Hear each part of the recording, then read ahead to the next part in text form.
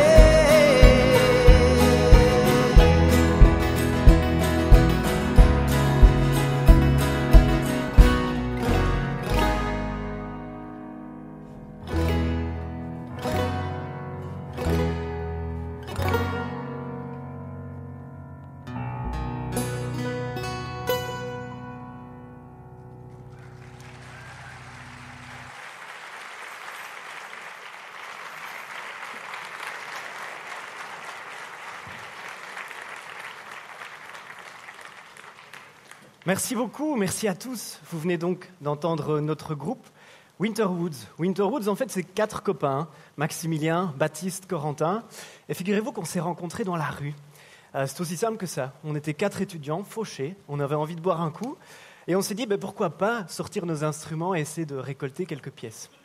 Figurez-vous que ça a bien fonctionné.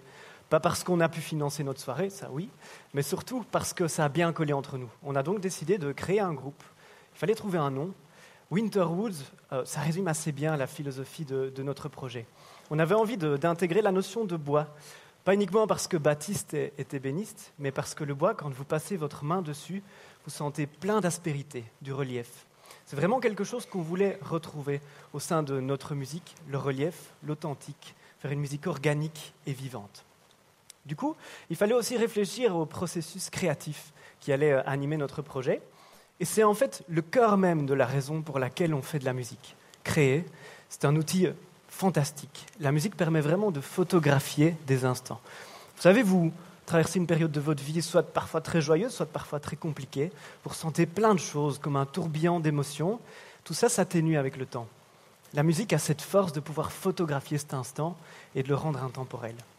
Pour ça, on est très fiers que ce soit notre chanson Change is Coming qui ouvre aujourd'hui le TED, parce que j'espère que vous, comme moi, vous sentez que le changement arrive. Nous sommes des jeunes face euh, à un monde, comme le disait Aline tantôt, en crise.